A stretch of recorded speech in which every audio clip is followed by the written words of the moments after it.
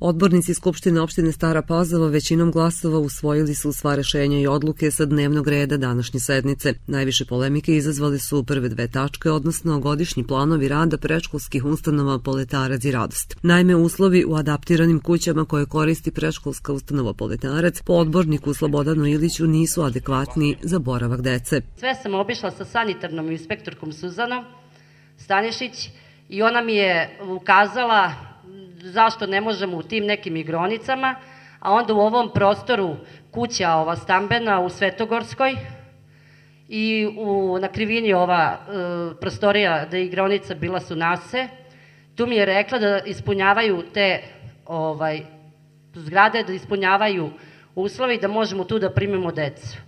Godišnji plan rada i izveštaj o radu preškolske ustanove Poletarac kao i preškolske ustanove Radost odbornici su usvojili većinom glasova. Takođe većinom glasova je na mesto direktora Centra za socijalni rad Stara Pozova imenovana Rada Žugić. Odbornici su dali saglasnost i za utvrđivanje naziva ulice Miloša Davidovića u Starim Banovcima kao i za rešenje o otuđenju iz javne svojine opštine Stara Pozova nepokretnosti u katastralnoj opštini Belegiš. A s obzirom da su železnice Srbije donele odluku o izmeni statusa železničke stanice stanice Nova Pazova koja bi u budućnosti imala status stajališta grupa građana izbor za našu opštinu podnela je zahtev za hitnu dopunu dnevnog reda da Skupština razmotri tu odluku.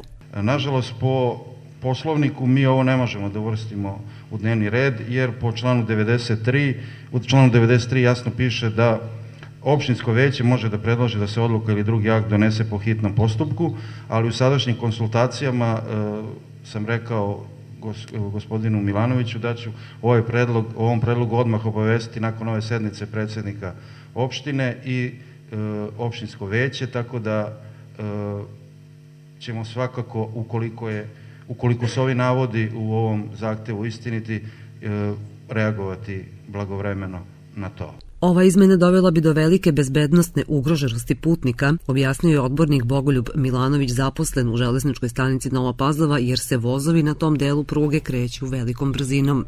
Neće imati ko da ih obaveštava o dolazećim vozovima, nema ko da ih upozorava da se uklone sa koloseka kada prolaze vozovi brzinom 120 na sat. Odbornička pitanja odnosila su se na završetak gradova na kružnom toku na izlasku iz Stare Pazove u pravcu Starih Banovaca i obezbeđenja pristupa stanovnicima te ulice kućama. Odbornici su uputili i primetbe da su odgovori koje dobiju često nepotpuni.